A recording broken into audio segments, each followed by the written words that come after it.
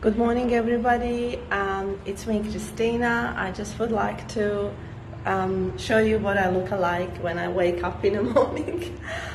um, no, that's a joke. You don't need to see that. But anyway, it is morning where I am at. Um, I am on a holiday with my family.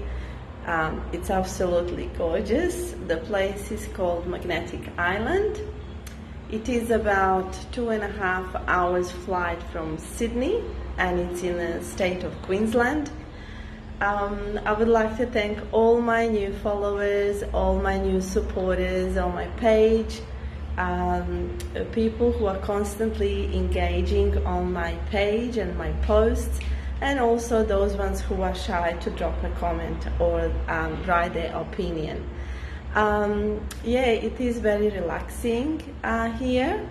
Um, very slow pace. Um, uh, a lot of time to reset your mind, to um, uh, not to think too much.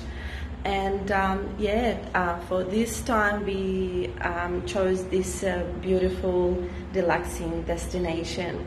I hope that everybody is going to have a beautiful Tuesday. Don't think too much, um, be happy, and take care. Bye for now.